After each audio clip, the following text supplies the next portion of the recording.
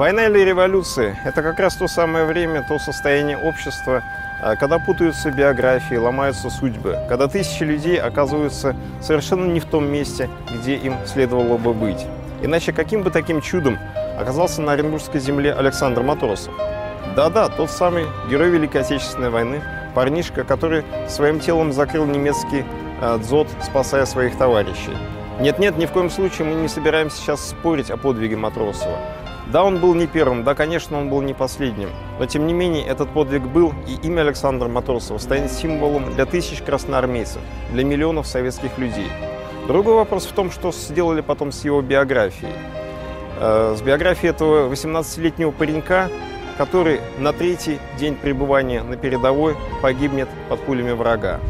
Согласно официальной биографии, Александр Матвеевич Матросов родился в 1924 году в Екатеринославле, сейчас этот город Днепропетровск, и погибнет 23 февраля 1943 года у деревни Чернушки. Из всего этого набора фактов подлинным является только название этой деревни, где совершит свой подвиг Александр Матросов. Ведь дело в том, что Шакирьян Хамедьянов, а именно таково настоящее имя героя, станет Александром Матросовым лишь в детдоме. Он родился в деревне Кунакбаево в Башкирии. Мать умерла, отец пил. Соседи решили отдать мальчика в детдом в Мелике, с ныне этот город Димитровград Ульяновской области. Это было в 1932 или 1933 году. Два года спустя его переводят в Ивановский детский дом. Нет-нет, не город невест Иванова. Ивановский детдом находился в Майнском э, районе Ульяновской области. Вот именно там э, Шакирьяна запишут Александром Матросовым. Впоследствии он приезжал в родную деревню в Кунакбаево, ребята увидели, о, Шакирьян приехал. Нет-нет, скажет он, теперь меня зовут Саша. Последний раз он был там буквально накануне войны в июне 1941 года. Закончив семилетку в детском доме, Александр Матросов по распределению направляется в Куйбышев, нынешний город Самара, работать в вагоноремонтном заводе. Оттуда он убежит. Его поймают в Самаре, арестуют и будут судить за нарушение паспортного режима. Его отправят в детскую трудовую колонию в Уфу, где он будет отбывать свой срок до конца лета 1942 года.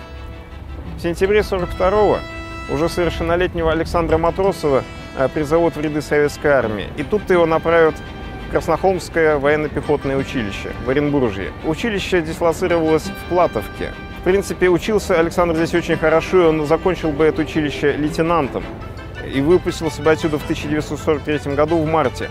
Из-за дислокационной близости Сталинградского фронта и тяжелом положении э, в этом районе Выпуск этот досрочно отправят на передовую в январе 1943 года. Согласно официальным документам, 25 февраля подразделение, в котором находился Матросов, уже будет на передовой, а 27 молодой паренек бросится на вражеский пулемет, закроет своим телом огневую точку противника и спасет жизни своих товарищей. Позже дату гибели ему подправят на 23 февраля, День Красной Армии Военно-Морского флота. Еще позже появятся и два комсомольских билета, залитых кровью с одинаковым порядковым номером. Один из них хранится сейчас на Поклонной горе в Центральном музее Великой Отечественной войны, другой в музее Великих Луках. Но так ли все это важно? На самом деле, куда как важнее то, что совершил этот замечательный человек, что он совершил для своих товарищей, для нас с вами, для будущих поколений. Впоследствии об Александре Матросове снимут фильмы, напишут песни ему будут посвящать стихи. И надо сказать, что именно здесь, в Оренбурге, будет написана поэма Александра Матросов, автором которой стал Алексей Фатьянов и композитор Василий Павлович Соловьев-Седой. Но о них, естественно, мы должны поговорить в отдельной передаче.